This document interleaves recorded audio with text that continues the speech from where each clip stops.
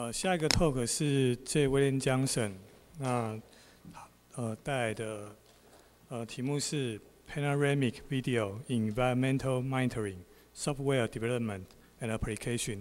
那 J 他现在是在成大的呃地球科学系，那他参与的计划是有关于就是 Remote Sensing Sensing 的一个的计算。那让我们呃就是掌声欢迎 J. William Johnson。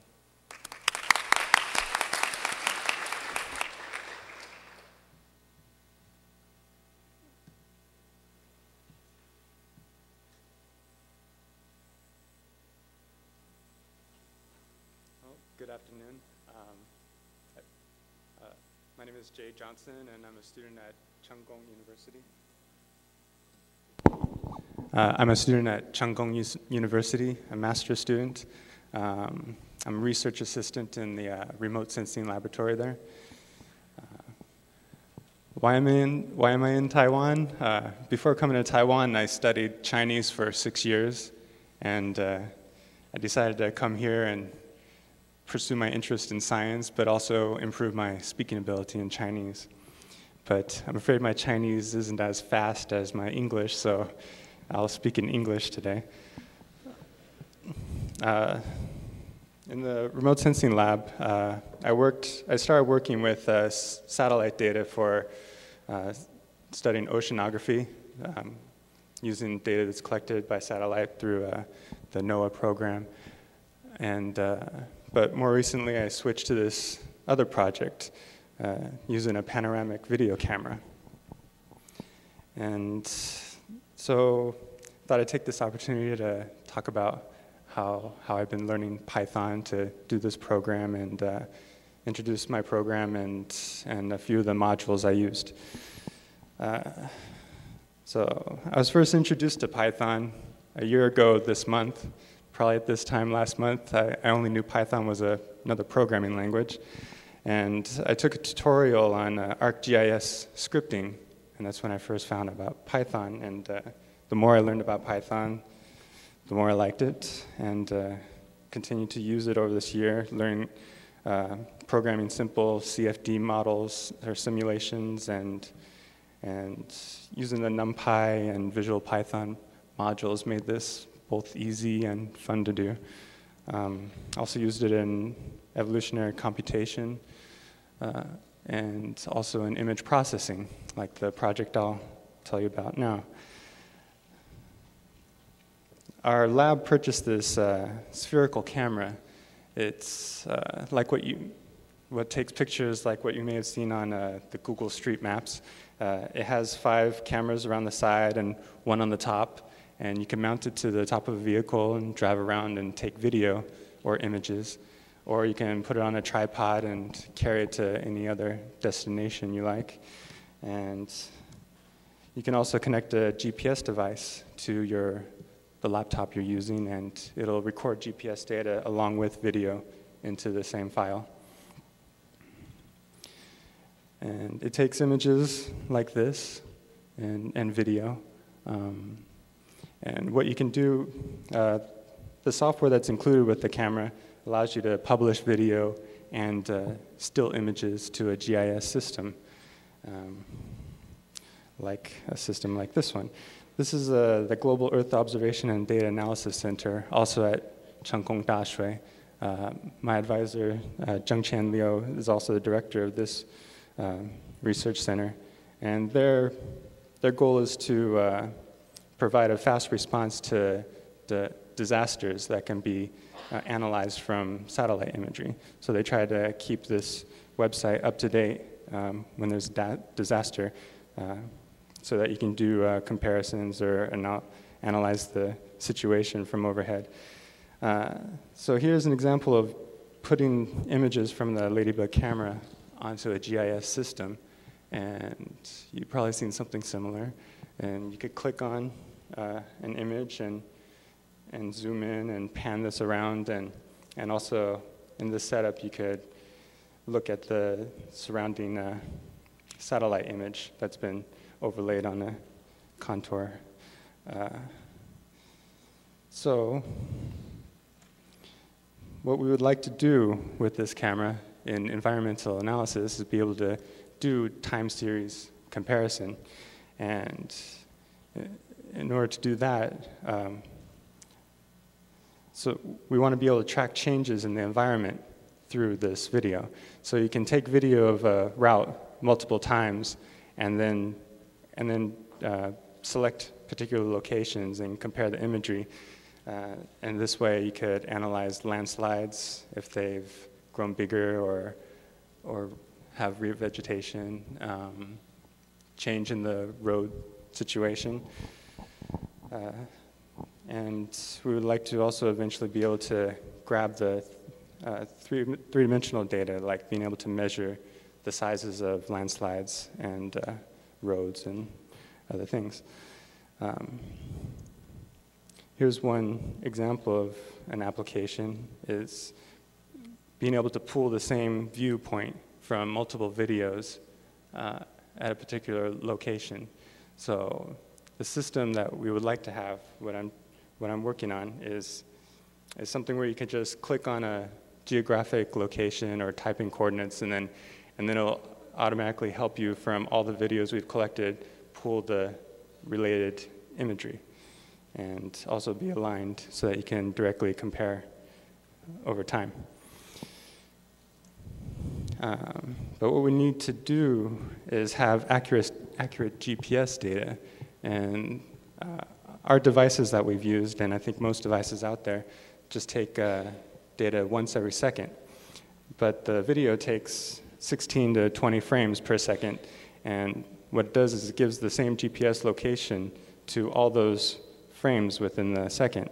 Instead of what we would like to have is um, more accurate representation of that image's position.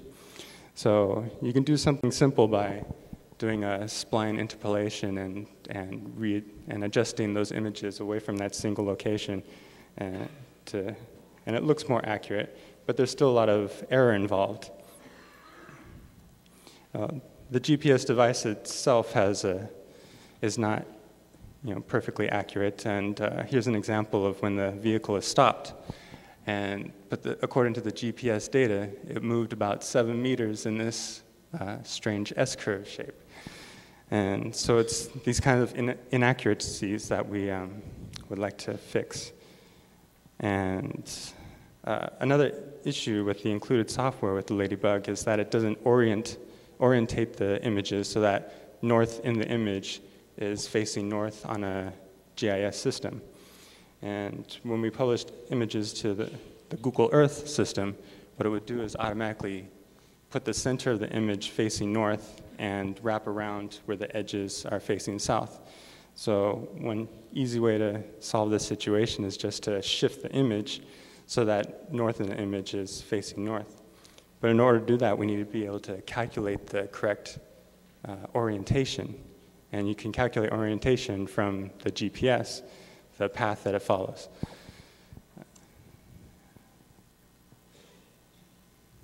So how do we do this? Uh, one approach is to get an extra device, the IMU, and record that data along with the video. And, uh, but the problem with that is these devices are also costly, and uh, it doesn't help with video that you've already recorded in the past. So what we'd like to do is have a different approach to that we can also apply to video we already have. And another option is visual odometry, also known as ego motion. This is where you use the, the, uh, the images from the video, sequential images, to calculate uh, the change in position and orientation of the camera. And it's a popular research topic right now in robot localization especially those with that walk on legs that don't have wheels to turn and, and you can't calculate exactly how far it's gone just from the wheel motion. And yeah. so the setup I've been using is uh, Python XY. Uh, this is a good package. It, it includes everything, I think everything you need to get started in scientific computing. Uh, includes NumPy and Visual Python and OpenCV. And a good IDE that I've been using, um, Spyder, And I think the only module I use in my program that didn't come with this package is uh, for adding and editing uh, coordinate data to JPEGs. Um, also included with the Ladybug camera system is the complete API for controlling the camera and also accessing the video stream. And I use that in the program along with uh, SIFT, which is a program for finding matching points within multiple images. If you want to find an object within uh, another image, it'll help you match similar points. And I'll show that in a minute. so the Ladybug API is written in C++. Uh, so in order to use this, I need to learn about uh, Python ctypes module and, uh, and then write a wrapper around this API. And, and then afterwards, I already also wrote a class to help manage a lot of the information for me, and then could use it easily within a Python application. And uh, just talk a little bit about ctypes, if you're not familiar with it. It allows you to access a dynamic linked library and, and use the methods that uh, written C++. And so all you need to do to, to load up a dynamic linked library is uh, use the ctypes modules method cdll and just put the name of the DLL and then you can access the, the functions as you can see here. And the, the thing that I didn't know C++ before this, so everything I know about C++ I learned through having to learn ctypes. And one, one thing if you're going to get started on ctypes and C++ is um, you need to manage the memory a bit and do things the C++ way. And with ctypes, you do this by doing, uh, creating a string buffer. And you pass this predefined buffer to the method, and it, it writes to that buffer, and then you can uh, extract the data from that by using the struct module uh, and the unpack, unpack method in there. And to simplify all this stuff, because it wasn't very Pythonic, uh, I, in my API, uh, API wrapper, uh, you can just directly access uh, or directly input the things that are necessary for the user to input, such as which camera we're dealing with, uh, which camera we want to get information from, and then instead of having to predefine uh, the, the buffers for overriding, it'll simply return the tuple. So by using this uh, wrapper, you don't have to deal with any of the uh, ctypes and memory man management issues. So I did that for uh, about, I think, about half or more of the API, mostly just the methods that relate to accessing uh, recorded video, not for directly controlling the camera. And the SIFT program, I'll tell you a little bit about that. Uh, it's called a Scale Invariant Feature Transform, and it was developed in 1999. And what it does is you give this program one image, and it'll find thousands of unique points within that image. And uh, this is a this is an executable uh, demo program you could download off the web, and and calling it through Python, use the subprocess method and call it in this manner. And for each one of those points that it finds, it gives a, a 128 value descriptor, a numerical descriptor. And then after you process images and, and, get all these key data, the way you find matches is by comparing these uh, numerical descriptors. And you just do a, uh, the easiest way is just to do a Euclidean uh, distance measurement between the, the sets. And when, that, when the distance is minimized, that's probably a very good match. And then there's also other things you need to do, do to, to, uh, to, to take the bad matches and uh, to, to separate the good matches from the bad matches. and here's an example of uh, what this program can do with uh, a single camera driving down the road. So you take two, two frames of the video and running the SIFT program, you could find uh, these flow vectors. Um, so each one of these yellow lines describes a movement of a point from one, one frame to the next. And this already, this is the first step in doing anything related to uh, 3D, uh, extracting the 3D environment or making depth maps. Uh, so another module I used is OpenCV. Uh, maybe some of you are already familiar with this. When I first got, it, got started with this, uh, it, was, it was difficult getting started because all the examples I, I was finding all had import CV at the top. And the documentation I was finding just said import CV. And then finally I came across an example that said import CV2. And with having, I have the latest version of OpenCV, I, I didn't know that I need to do CV2. So if you're getting started with it and, and you see these examples with just CV, you need to switch it to CV2. But you can still use all the examples that are out there. Um, you just need to import the submodule.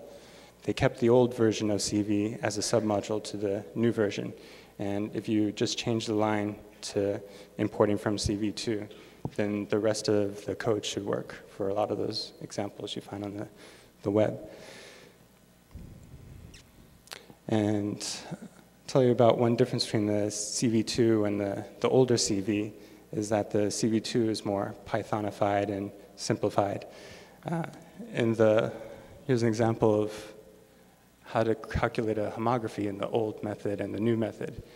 In the old method, you would have to do, uh, like in ctypes, using ctypes with the C++ code, you would have to create your buffers. You would have to move your NumPy arrays data into those buffers and, and also create a buffer for the output array and then pass all this to the method to get your result. But in the CV2 version, uh, they, they allow you to directly use the NumPy arrays in the, in the method, which, uh, which is very convenient, but not entirely uh, straightforward. Uh, one thing I found is that you can't use views of an array in, when you're using it with uh, OpenCV. You have to actually copy uh, a view into a, its own array and then pass that to uh, a function in CV2. So these are a couple of the uh, biggest issues I had when I was first starting out, and if you want to play with OpenCV, I hope that helps. Uh, what is a homography? Now, homography is, is the translation of, a, of points on a plane uh, from one image to another image. And in this case, we're going to use the road as one plane in one image, and you want to see how that plane moves to the next image. And we already get a sense of what's going on with the SIFT matching. And then you can use the points from the SIFT matching that are on the road, that are all on the same plane, to calculate a homography. And once you have the homography calculated, you can then calculate any point's movement on that plane, like this. And so you can see how the SIFT ma uh, matches align well with the uh, homography. And then you can also do other things like uh, uh, translating it to a top-down view. And in this way, you can get a sense of how, how, how the vehicle is moving along that road. And both uh, the PIL module, the, the Python imaging library, and OpenCV both have perspective transform. Uh, different, uh, but they do the same thing, um, just set up differently. And I've been using the, the Python imaging library mostly because it also links up with the TK interface well for making GUIs and putting images on the canvas. And here's an example of translating those images to a top-down view and then somewhat stitching them together to make a longer view. And once you know how to manipulate uh, images with, with, uh, with PIL or uh, OpenCV, you can do some fun things like this.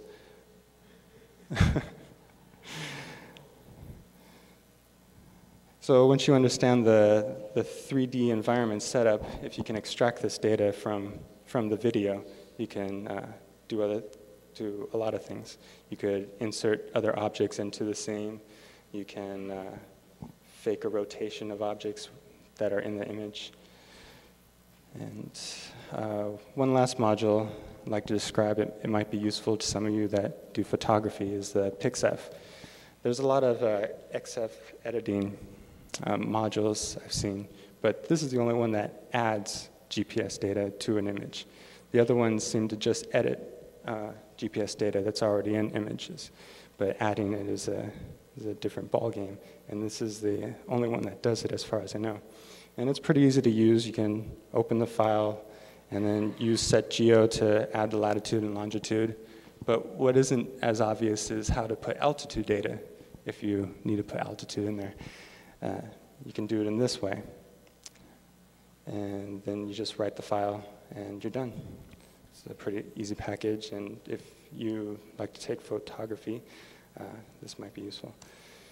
And in closing, there's still a lot of work to be done. It's a it's an error-prone system because it depends a lot on image resolution, the stability of the camera, which is bouncing around with the car on the road, and also differentiating differentiating the the road vectors from other objects. And uh, and there's there's software out there that does things like what I'm trying to do. And as I learned Python, the more I learned, I realized, yeah, I could probably try to do it myself instead of paying lots of money or having the lab, lab pay lots of money to, to purchase this software. So I started working on this project at the beginning of this year, and uh, yeah, that's about it. Thank you.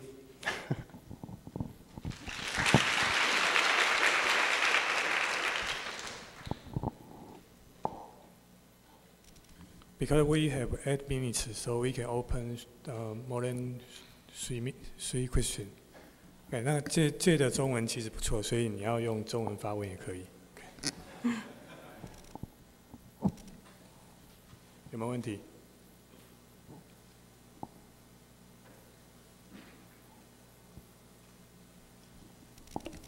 Hello，我想请问一下，可以转到前面那几张吗？有个黄点在那边飞的那一个，在在在前面，在前面，在前面，在前面。阿丁，请问一下，这张我没有听清楚，这是只说它可以 identify 这两张是同一个物件吗？呃，the the descriptor describes uh, the point, and you, you want to match these descriptions. But it, it's, it's not an exact science, but it, it does a good job of matching two points. OK，就是说它可以 identify 这两个是同一个 car，是这样吗？ Oh, um, the program itself won't do that. Uh, you need to write that algorithm yourself. OK， And you would probably want to use multiple points, and, and you, might, you might want to add in uh, looking at the color of the object also.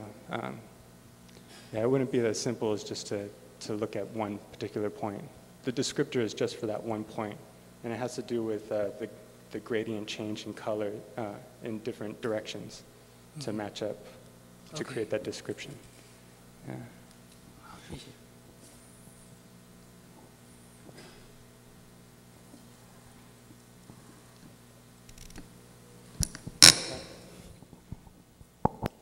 呃，还有问题吗？OK，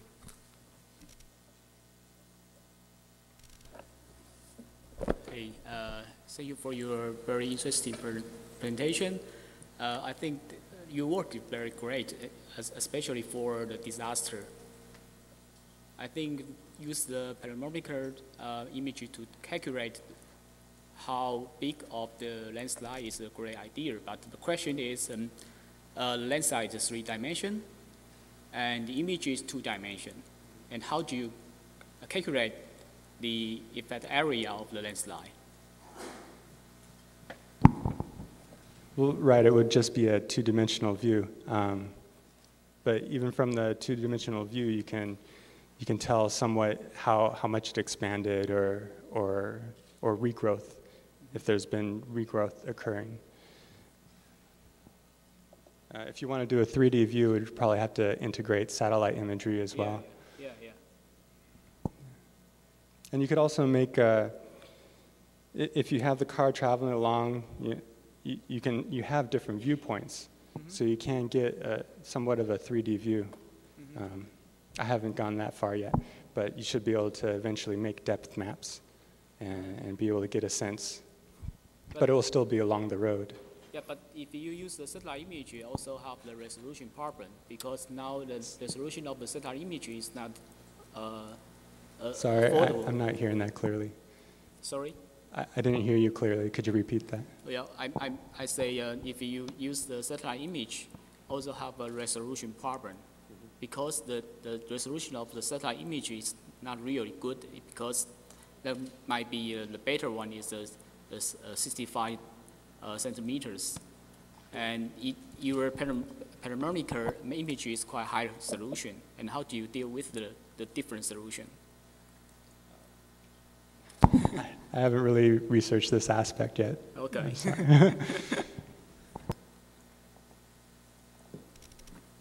啊，OK，那我想我们先在这边结束，让我们再次谢谢那个 J. William Johnson。